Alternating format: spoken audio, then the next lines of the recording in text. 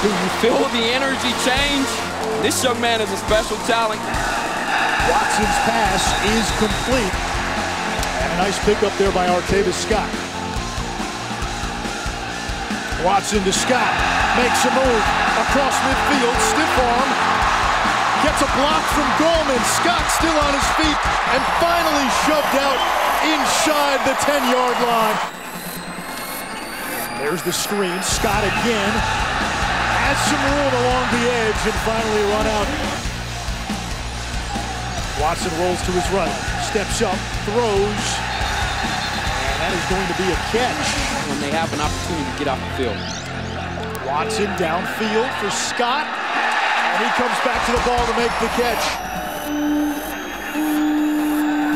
Watson downfield. Open receiver. Scott.